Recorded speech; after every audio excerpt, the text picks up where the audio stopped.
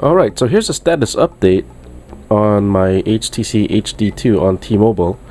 Um, I actually went back to um, Windows Mobile 6.5. Um, what I did was I put a new SD card in there. I formatted the SD card in Windows, and then I booted up to the um, Windows Mobile. And I've been running for a couple days now, and what's odd is it's working really well. Um, I did this before. I went back to the same ROM um, and then within the first day, I had freezes and odd things happening. And the only difference is I actually formatted my SD card.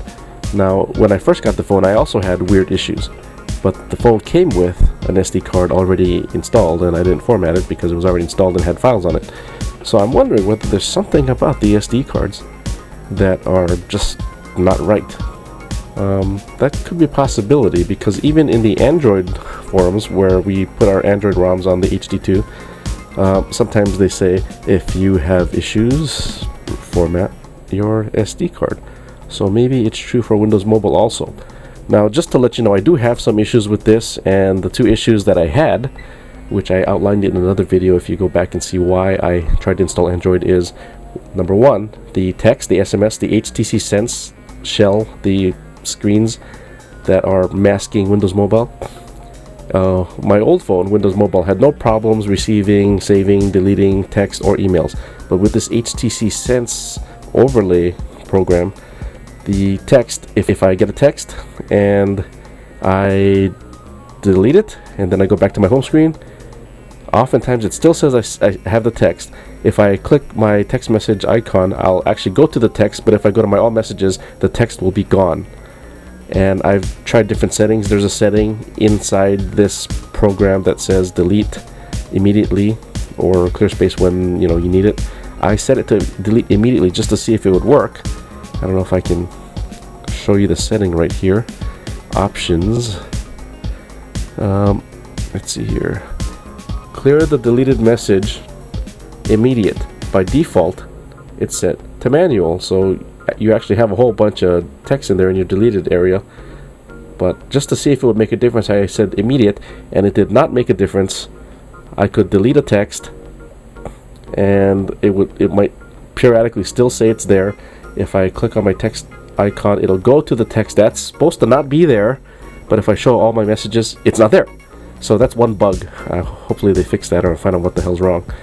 And then my email, one problem I have, and it's really irritating because I get tons of email, including spam, is it, I have Yahoo Mail, it's using IMAP. All my other devices, even my old Windows Mobile, even Windows Mobile without the HTC Sense, if I delete an item and it syncs back to the server, the item is deleted because it's IMAP. It's set so that you delete here, it deletes there. Um, there's no settings for that in here for some reason, so I can't change anything, but I would expect it to delete something if I deleted it but I would often receive email, go through 50 or something emails, clear it out so I got only the ones I want, delete 40 of them, and then the phone will sync and delete the 40 that I deleted back down and it just pisses me off. Let me see if I can actually demonstrate it right now. What I'm right now there's no emails in my inbox.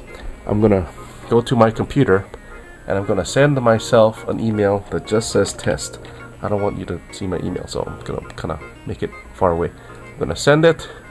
I'm going to click send receive. It sends it. And then I'm gonna go check on my phone. Oh I don't want you to see my lock code. I'm gonna send receive here and see if that message comes through. There we go I got one message. So I go to check the message. Oh, well, that's another irritating thing. It doesn't refresh the screen. I have to actually exit it and then go back in to see the message. So I got a message there and I'm gonna delete the message so it's gone. There's no number here, there's no messages, it's gone.